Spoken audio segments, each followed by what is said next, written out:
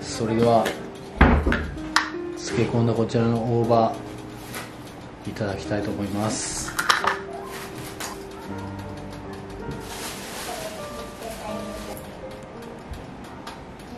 のせて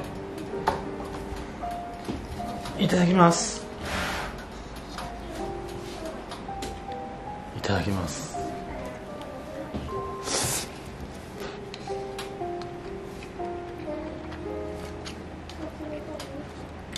うまっ。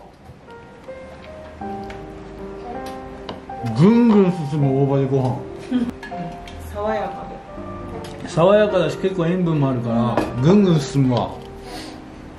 うめえなんかお茶漬けにしても良さそうだなこれ。美味しそう。ん。えはいそれでは今日はご飯が進むですね大葉漬け作ってみました、えーぜひ参考にして作ってみてください。ご視聴ありがとうございました